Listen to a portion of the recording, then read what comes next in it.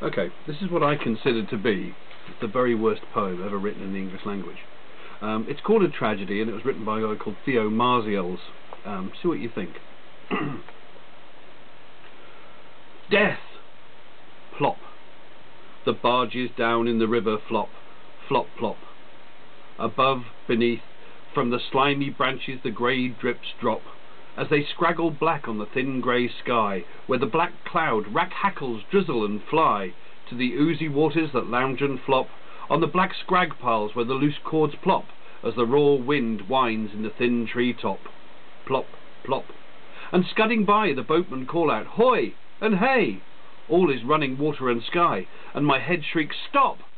And my heart shrieks, Die. My thought is running out of my head, my love is running out of my heart. My soul runs after and leaves me as dead. For my life runs after to catch them, and fled they all are, every one. And I stand and start as the water oozes up, plop and plop on the barges that flop, and dizzy me dead I might reel and drop, plop, dead.